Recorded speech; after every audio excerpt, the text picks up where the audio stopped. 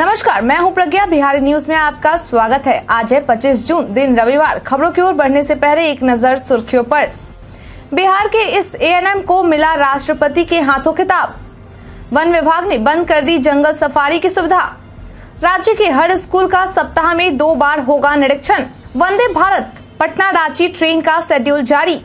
सरफराज खान को नजरअंदाज करने पर सुनील गावस्कर और आकाश चोपड़ा का बयान।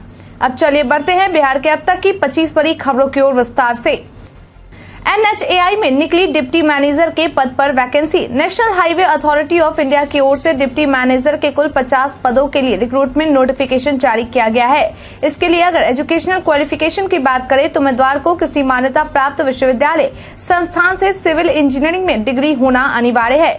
इच्छुक और योग्य उम्मीदवार आवेदन करने के लिए आधिकारिक वेबसाइट एन पर जाकर ऑनलाइन तरीके से आवेदन कर सकते हैं। बता दें कि आवेदन करने की अंतिम तारीख तीस जून दो तक निर्धारित की गई है।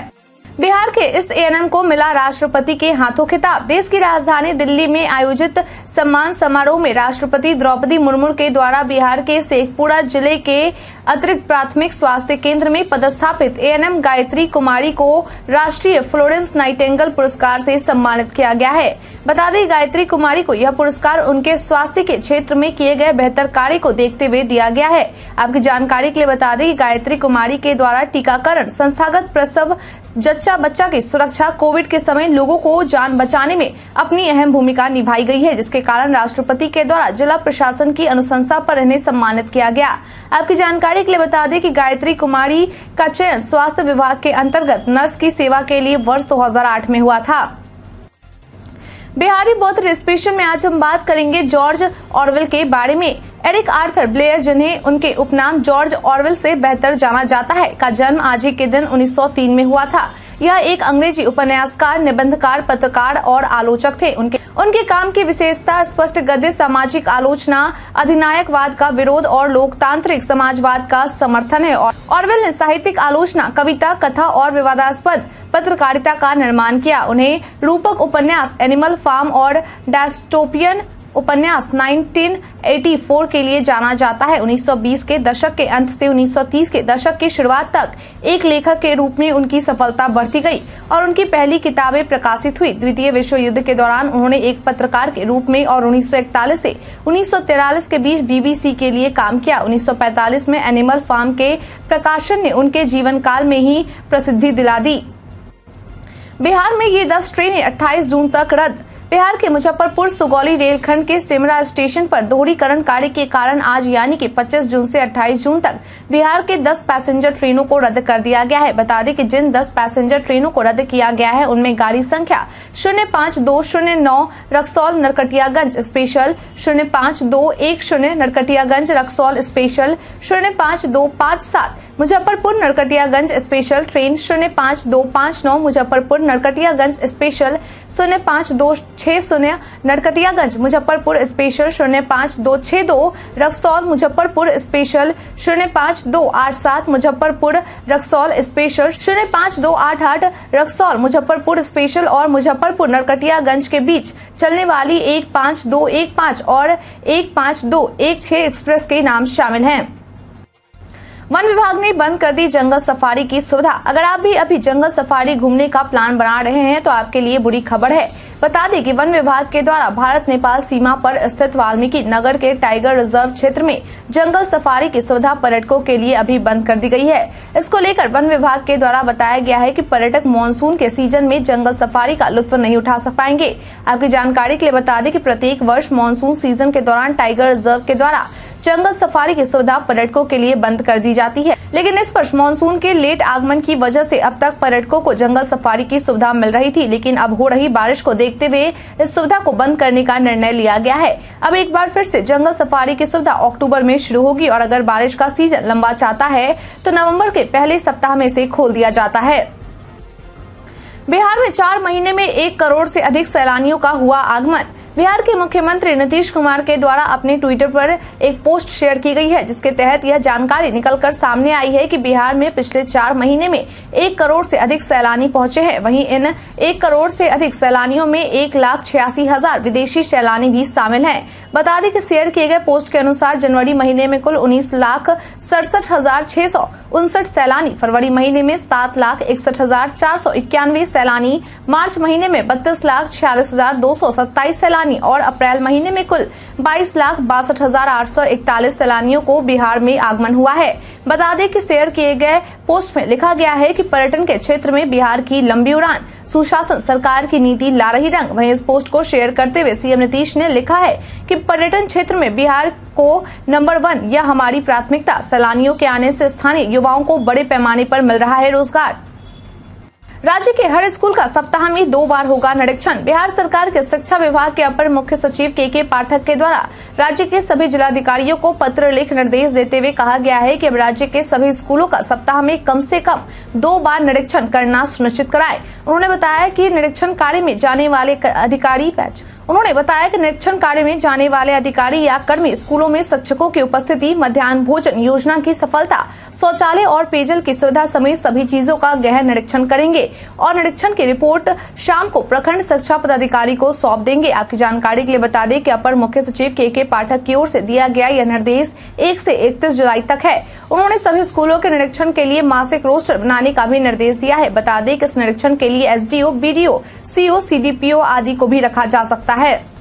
बगहा पुलिस ने की बड़ी कार्रवाई, जब्त किए शराब और तीस बाइक। बिहार में शराबबंदी है, इससे तो हम सभी वाकिफ है, लेकिन इसके बावजूद भी आए दिन शराब तस्करी से जुड़े मामले सामने आते रहते हैं। बता दें कि ताज़ा मामला बगहा का है, जहाँ बगहा एसपी किरण कुमार जाधव को मिली गुप्त सूचना के आधार पर विशेष अभियान के तहत की गई छापेमारी में 30 से अधिक बाइक के साथ 60 लीटर देसी शराब को जब्त किया गया है।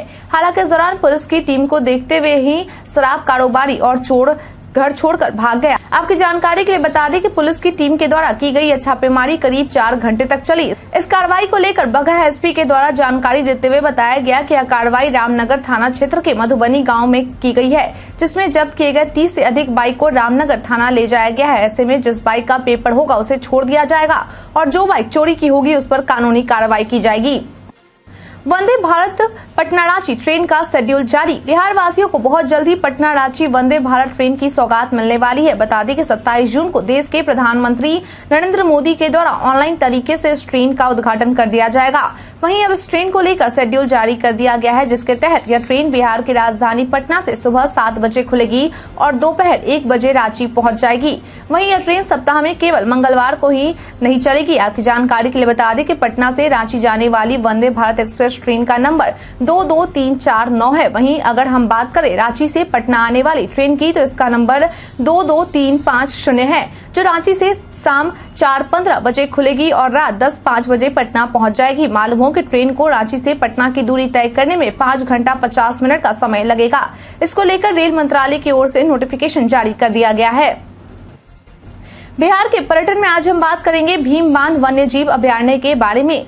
भीम बाँध वन्य जीव अभ्यारण्य मुंगेर ज़िले के दक्षिण पश्चिम में स्थित है। खड़गपुर हिल्स की पहाड़ियों और अविरल पथ पर जंगल छह वर्ग किलोमीटर के क्षेत्र को कवर करता है। भीम बाँध गंगा नदी के दक्षिण में छोटा नागपुर पठार के उत्तरी किनारे और संथाल परगना के पश्चिम में स्थित है। यह चारों ओर से घने गैरवानी के क्षेत्रों से घिरा हुआ है। घाटी के भागों में और तलहटी में कई गर्म झरने हैं, जिनमें से सबसे अच्छे भीम बाँध सीता कुंड और ऋषि कुंड है। सभी गर्म झरने पूरे वर्ष लगभग समान तापमान बनाए रखते हैं। उनमें से भीम बाँध उनमें से भीम बाँध स्प्रिंग्स में सबसे गर्म तापमान और डिस्चार्ज है और भूतापीय ऊर्जा क्षमता की खोज के लिए सबसे अच्छा क्षेत्र है। महाभारत के अनुसार पांडवों में से एक भीम ने यहाँ एक बाँध का निर्माण किया था और इसलिए इसे भीम बाँध कहा जाता है। बिहार की राजधानी से उत्तर बिहार आना जाना होगा आसान। राष्ट्रीय राजमार्ग प्राधिकरण के द्वारा बीते 10 सालों से ज़मीन अधिग्रहण पूरा न होने की वजह से अटकी मुजफ्फरपुर, हाजीपुर, फोरलेन सड़क का काम पूरा किया जा सके।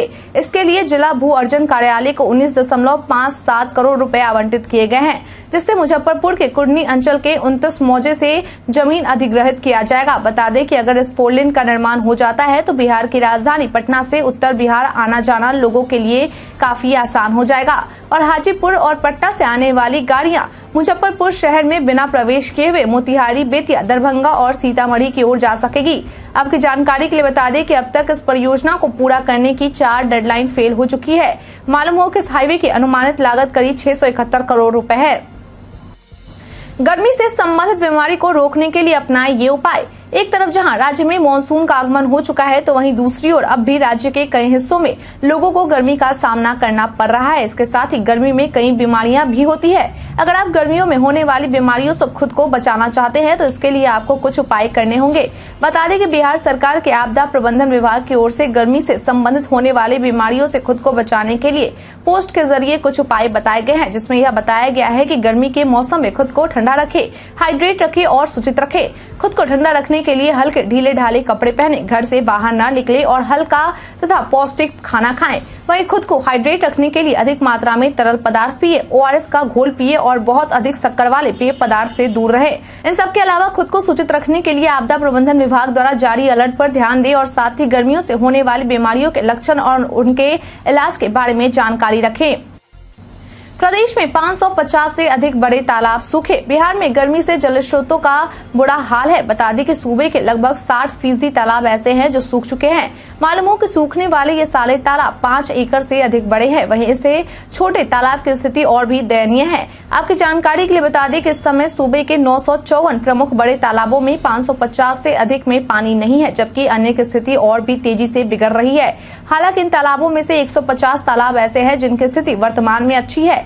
यहाँ 10 से 12 फीट तक पानी है। विशेषज्ञों के अनुसार इस तरह की स्थिति का कारण भूगर्भ जलस्तर का नीचे जाना है। वहीं पिछले वर्षों में इनकी देखरेख सही ढंग से नहीं की गई, जिससे कई तालाब अतिक्रमण के भी शिकार हो गए तो वहीं कई पर अवैध निर्माण हो चुका है। किशनगंज में पुल का पिलर धसने पर तेजश्री यादव ने दी सफ़ाई।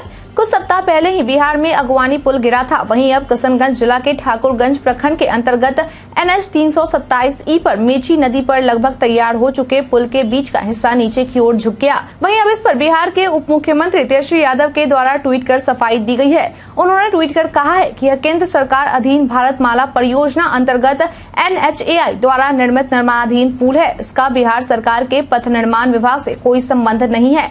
इस परियोजना के निर्माण से संबंधित एजेंसी अधिकारियों को श्रेय एवं दंड देने का सर्वाधिकार एनएचएआई का है। बता दें कि मिली जानकारी के अनुसार इस पुल का निर्माण जी इन्फा के द्वारा किया जा रहा था। तेरह पीजी कोर्स में सीधे दाखिले के लिए इग्नू की नई पहल। Indira Gandhi National Open University के द्वारा एक नई पहल की शुरुआत की गई है, जिसके तहत वैसे छात्र जो पहले से इग्नू से डिप्लोमा कोर्स कर चुके हैं, वह अब उसी विषय के साथ पीजी भी कर सकते हैं। दरअसल छात्र यह पीजी कोर्स एक वर्ष में लैटरल एंट्री के ज़रिए एक वर्ष में पूरा कर सकते हैं। आपकी जानकारी के लिए बता दें कि इग्नू की ओर से ऐसे तेरह पीजी कोर्स चलाए जा रहे हैं, जिसमें डायरेक्ट लैटरल एंट्री है। मालूम हो कि इग्नू की ओर से डायरेक्ट लैटरल एंट्री के लिए जो तेरह कोर्स चला रहे हैं for Master of Arts in Distance Education, MSc Food Safety and Quality Management, Master of Arts in Sustainability Science, Master of Arts in migration diaspora master of arts and development studies master of arts and corporate social responsibility master of arts and mass communication master of science and information security master of science and food safety and quality management master of arts and gender and development studies और post graduate diploma in industrial safety management विषय शामिल है। आपकी जानकारी के लिए बता दी कि वर्तमान में राज्य में लैटरल एंट्री की व्यवस्था केवल इग्नू में उपलब्ध है। प्रदेश के उत्तरी और दक्षिण पश्चिम भागों में वज्रपात के साथ मेघ गर्जन की संभावना बिहार में मौसम का मिजाज लगातार बदल रहा है। बदलते हालात के बीच में प्रदेश के कई जिलों में बारिश की संभावना है तो कई जिलों में तेज धूप जैसे हालात हैं। हालाँकि प्रदेश के कई जिलों में छिटपुट बारिश की संभावना जताई गई है। साथ ही सीमांचल के इलाकों में मूसलाधार बारिश की संभावना जताई जा रही है। इधर मौसम विभाग की तरफ़ से जारी अपडेट के अनुसार यह बताया जा रहा है की दक्षिण पश्चिम मानसून की उत्तरी सीमा बक्सर से होकर गुजर रही है। साथ ही यह भी बताया जा रहा है की आने वाले एक से दो दिनों में प्रदेश के अलग अलग हिस्सों में भी बारिश होने की संभावना है।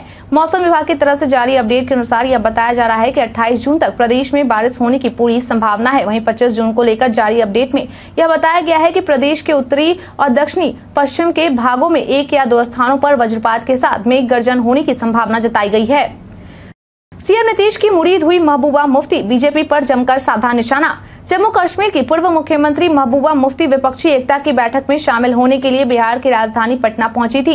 वहीं इस दौरान बीते दिन उन्होंने प्रेस कॉन्फ्रेंस आयोजित कर बीजेपी पर जमकर निशाना साधा। उन्होंने कहा कि जब नरेंद्र मोदी भारत में रहते हैं तो हिंदू मुस्लिम करते हैं और जब भारत से बाहर जाते हैं तो लोकतंत्र की बात करते हैं। आखिर यह कैसा लोकतंत्र है? इसके साथ ही उन्होंने विपक्षी एकता की बैठक को लेकर कहा कि यह इतना आसान नहीं था। उन्होंने सीएम नीतीश की तारीफ़ करते हुए कहा कि नीतीश कुमार जी ने काफ़ी कोशिश की और अब उनकी यह कोशिश रंग लाई है नीतीश कुमार जी ने अच्छा काम किया है, इनकी तारीफ़ होनी चाहिए। इसके साथ ही अरविंद केजरीवाल को लेकर उन्होंने कहा कि हमें उनसे शिकायत थी कि उन्होंने 370 हटाने पर बीजेपी का समर्थन किया था। हमने यह बातें कल कही थी, लेकिन अब सब कुछ सही है, हमारी कोई नाराज़गी नहीं है। रही बात कांग्रेस की तो वो समय आने पर निर्णय ले लेंगे। एआईएमआईएम ने विपक्षी एकता को बताया अच्छी पहल, लेकिन नजरअंदाज हुई कुछ चीज़ें। बिहार की राजधानी पटना में हुई विपक्षी दलों की बैठक को लेकर एआईएमआईएम विधायक अख्तरुल ईमान के द्वारा अपना बयान दिया गया है। उन्होंने कहा कि बीजेपी को हटाने के लिए यह एक अच्छी पहल है, लेकिन हैरत इस बात की है कि बिहार ने इसकी मेजबानी की और बिहार से एक भी मुस्लिम नेता या मंत्री को इस स्टेज में जगह नहीं दी गई। यह लोग कहेंगे कि कश्मीर से फारूक अब्दुल्ला और महबूबा मुफ्ती आई थी, लेकिन ये बीजेपी के चेहरे हैं। हमें इन लोगों से कोई लेना देना नहीं है। यह बात साबित है कि पूरे देश के मुस्लिम के मसले पर कश्मीर के मुसलमानों ने कभी मुँह नहीं खोला। कश्मीर के मुसलमानों को हम देश का मुसलमान मानते हैं। उन्होंने कहा कि कश्मीर के मुस्लिम नेताओं के द्वारा कभी देश के मसले पर अपनी ज़ुबान नहीं खोली गई। इस बैठक में मुस्लिम सिखों और ईसाइयों के तमाम अकलियत को नजरअंदाज किया गया है। अमित शाह से तेज प्रताप ने पूछा ये सवाल। बीते दिन राजद सुप्रीमो लालू प्रसाद यादव के बड़े बेटे और बिहार सरकार में वन पर्यावरण एवं जलवायु परिवर्तन विभाग के मंत्री तेज प्रताप यादव के द्वारा गृह मंत्री अमित शाह पर जमकर हमला बोला गया। दरअसल तेज प्रताप यादव, अमित शाह और जीतन राम मांझी के बीच हुए मुलाकात के एक वाक्य पर भड़क उठे हैं। आपकी जानकारी के लिए बता दें कि जब जीतन राम मांझी अमित शाह से मिलने गए थे तो उस दौरान जीतन राम मांझी ने कमरे में जाने से पहले अपने चप्पल बाहर खोल दिए थे। इस पर तेज प्रताप यादव के द्वारा गृह मंत्री अमित शाह से सवाल पूछा गया कि अमित शाह को इसका जवाब देना चाहिए कि जब उन्होंने जीतन राम मांझी को अपने कमरे में बुलवाया तो चप्पल क्यों खुलवा दिया? जबकि वो खुद चप्पल पहने रहे, इस बात का जवाब दे। सरफराज खान को नजरअंदाज करने पर सुनील गावस्कर और आकाश चोपड़ा का बयान। वेस्टइंडीज दौरे के लिए सरफराज खान का चयन न होने पर भारत के पूर्व बल्लेबाज सुनील गावस्कर और भारत के पूर्व सलामी बल्लेबाज आकाश चोपड़ा के द्वारा जमकर हमला बोला गया है। एक तरफ़ जहाँ सुनील गावस्कर का कहना है कि सरफराज खान पिछले तीन साल से सौ की औसत से रन बना रहे हैं। उनको टीम में शामिल होने के लिए और क्या करना पड़ेगा, वह प्लेइंग इलेवन में नहीं होते, लेकिन उनको टीम में चुना जाना चाहिए था। उनको बताना चाहिए की आपके खेल और प्रदर्शन की पहचान हो रही है, नहीं तो रणजी खेलना बंद करो। कह दीजिए, इसका कोई मतलब नहीं है। आप सिर्फ़ आईपीएल खेलिए और सोचिए कि आप लाल गेंद की क्रिकेट के लिए भी तैयार हैं। चार ओपनर की क्या ज़रूरत है? वहीं दूसरी ओर आकाश चोपड़ा के द्वारा कहा गया कि सरफराज को क्या करना होगा? आप पिछले तीन साल में उनके नंबर देखिए, उनका प्रदर्शन कमाल का रहा है। उन्होंने हर जगह रन बनाए हैं। इसके बावजूद उनको सिलेक्शन नहीं हुआ है। इससे आप क्या मैसेज देना चाहते हैं? यह लाख टके का सवाल है। अगर कोई और कारण है जो आपको पता है और हमें नहीं पता तो उसको खुलकर पब्लिक के सामने बताइए। जो है, कह दीजिए कि आपको सरफराज के खेल में आपको यह चीज़ अच्छी नहीं लगती है और इस वजह से आप उनको मौका नहीं दे रहे हैं। हालाँकि हमको ऐसा कुछ नहीं पता है, मुझे नहीं पता कि किसी ने सरफराज को कुछ बताया है तो अगर आप फ़र्स्ट क्लास के रन की कदर नहीं करेंगे तो यह मुँह में खट्टा स्वाद छोड़ जाएगा। भारत के इतिहास में आज की तारीख है, कई कारणों से दर्ज। मुगल शासक बाबर पाँच सौ उनतीस में बंगाल पर विजय प्राप्त कर अपनी राजधानी आगरा लौटा। बाबा सोहन सिंह की अध्यक्षता में गदर पार्टी का गठन 1913 में हुआ। भारतीय क्रिकेट टीम ने 1932 में ब्रिटेन के लॉर्ड्स मैदान पर अपना पहला टेस्ट मैच खेला। इंदिरा गांधी के नेतृत्व वाली कांग्रेस सरकार की सलाह पर भारत के राष्ट्रपति फखरुद्दीन अली अहमद ने 1975 को देश में आपातकाल लगाने की घोषणा की थी। भारत ने उन्नीस सौ तिरासी वेस्ट इंडीज को तिरालीस रनों से हराकर पहली बार क्रिकेट विश्व कप का खिताब अपने नाम किया। उत्तर प्रदेश सरकार ने 2008 में मकान व फ्लैट की रजिस्ट्री सस्ती कर उस पर लगने वाला स्टाम्प शुल्क आठ प्रतिशत ऐसी घटाकर पाँच प्रतिशत कर दिया। श्रीकांत ने 2017 में ऑस्ट्रेलिया ओपन सुपर सीरीज़ का खिताब जीता। महिला भारतीय स्वतंत्रता सेनानी एवं राजनीतिज्ञ सुचेता कृपलानी का जन्म 1908 में हुआ। बॉलीवुड फ़िल्म संगीत निर्देशक मदन मोहन का जन्म 1924 में हुआ। भारत के आठवें प्रधानमंत्री विश्वनाथ प्रताप सिंह का जन्म 1931 में हुआ। भारत के प्रसिद्ध हास्य अभिनेता सतीश शाह का जन्म उन्नीस सौ इकसठ में हुआ। भारत के राष्ट्रवादी नेता एवं स्वतंत्रता संग्राम सेनानी स्वामी सहजानंद सरस्वती का निधन उन्नीस सौ पचास में हुआ। बालघर में आज हम बात करेंगे एक विशेष नंबर के बारे में। सोशल मीडिया पर कई सूचनाएँ वायरल होती है, लेकिन सभी सच हो ये ज़रूरी नहीं है। इसी कड़ी में आज हम बात करेंगे एक विशेष नंबर के बारे में। दरअसल पीआईबी ने अपने ट्वीट में लिखा है कि एक दावा किया गया है कि एनआईए ने आतंकी मुसलमानों को रिपोर्ट करने के लिए एक विशेष नंबर जारी किया है। पीआईबी ने अपने ट्वीट में आगे लिखा है की यह मैसेज भ्रामक है। यहाँ दिए गए नंबर एनआईए से जुड़े हुए हैं, लेकिन यह मैसेज एनआईए इंडिया द्वारा जारी नहीं किया गया है। व्हाट्सएप पर जल्द आ रहा कमाल का ये फीचर व्हाट्सएप एक नए फीचर पर काम कर रहा है, जो यूज़र्स को ग्रुप और इंडिविजुअल चैट में पिन मैसेज के लिए टाइम सेट करने की सुविधा देगा। यानी आप पिन मैसेज के लिए समय सीमा चुन पाएँगे कि कब तक पिन रहेगा। इस अपडेट की जानकारी व्हाट्सएप के डेवलपमेंट पर नज़र बनाए रखने वाली वेबसाइट डब्ल्यू बीटा इन्फो ने शेयर की है। नए फीचर के तहत कंपनी यूज़र्स को मैसेज को पिन करने के लिए तीन तरह के ऑप्शन देगी, जिसमें यूज़र्स मैसेज को 24 घंटे, सात दिन या 30 दिनों के लिए पिन कर सकते हैं। फ़िलहाल ये अपडेट कुछ बीटा टेस्टर्स को दिखा है, जिस पर अभी काम चल रहा है। आने वाले समय में कंपनी इस फीचर को सभी के लिए रोल आउट कर सकती है। नए पावर टैरिफ से सोलर आवर में सस्ती और रात में महँगी पड़ेगी बिजली। अगर आप भी बिजली के बिल से परेशान हैं तो आपके लिए अच्छी खबर है। बता दें कि सरकार की ओर से एक ठोस कदम उठाया गया है, जिसकी मदद से आप बिजली बिल को 20 फ़ीसदी कम कर सकते हैं। दरअसल सरकार की ओर से जल्द ही नया पावर टैरिफ लॉन्च किया जाएगा, जिसके अंतर्गत सोलर आवर, यानी कि दिन के समय बिजली के बिल को बीस परसेंट तक कम किया जा सकता है। बता दें कि इस टैरिफ के मुताबिक दिन का बिजली बिल और रात का बिजली बिल अलग अलग होगा। आपकी जानकारी के लिए बता दें कि इसका ऐलान केंद्रीय ऊर्जा मंत्रालय के द्वारा किया गया है। मालूम हो कि नया पावर टैरिफ सिस्टम शुरुआत में सिर्फ़ इंडस्ट्रियल और कमर्शियल यूनिट पर लागू होगा। उसके बाद इसे कृषि क्षेत्र छोड़कर बाकी क्षेत्रों पर भी लागू कर दिया जाएगा। मिली जानकारी के अनुसार इस नए सिस्टम को अगले साल, यानी कि वर्ष 2024 के अप्रैल महीने तक लागू कर दिया जाएगा। सरकारी कर्मचारियों के अटेंडेंस को लेकर लागू हुए नए नियम। अगर आप सरकारी कर्मचारी हैं तो यह खबर आपके लिए है। बता दी, केंद्र सरकार के द्वारा सरकारी कर्मचारियों के अटेंडेंस को लेकर एक नया नियम लागू किया गया है, जिसके तहत अब कर्मचारी आधार एनेबल्ड बायोमेट्रिक प्रणाली के ज़रिए अपनी अटेंडेंस दर्ज करेंगे। आपकी जानकारी के लिए बता दें कि कार्मिक मंत्रालय के द्वारा जारी एक आदेश में कहा गया है कि Aadhaar enabled biometric attendance system प्रणाली के कार्यान्वयन की हाल में हुई समीक्षा के दौरान इस बात पर गौर किया गया। कि भारत सरकार के मंत्रालयों, विभागों, संगठनों में तैनात बड़ी संख्या में कर्मचारी अपनी उपस्थिति इस प्रणाली के ज़रिए नहीं कर रहे हैं। मंत्रालयों, विभागों, संगठनों और कर्मचारियों की ओर से लापरवाही, शिथिलता को गंभीरता से लेते हुए यह फैसला लिया गया है कि मंत्रालय, विभाग, संगठन यह सुनिश्चित करेंगे कि वहाँ तैनात कर्मचारी ए बी ए एस का इस्तेमाल कर अपनी अटेंडेंस दर्ज करे। आदतन देर से आने और कार्यालय से जल्दी जाने को गंभीरता से लिया जाना चाहिए और नियमों के तहत इनके खिलाफ कार्रवाई शुरू की जानी चाहिए। दिव्यांग कर्मचारियों के संबंध में एमडीओ कम ऊंचाई पर या उनके डेस्क पर आसानी से पहुँचने योग्य मशीनों को उपलब्ध कराने की उचित व्यवस्था करेंगे।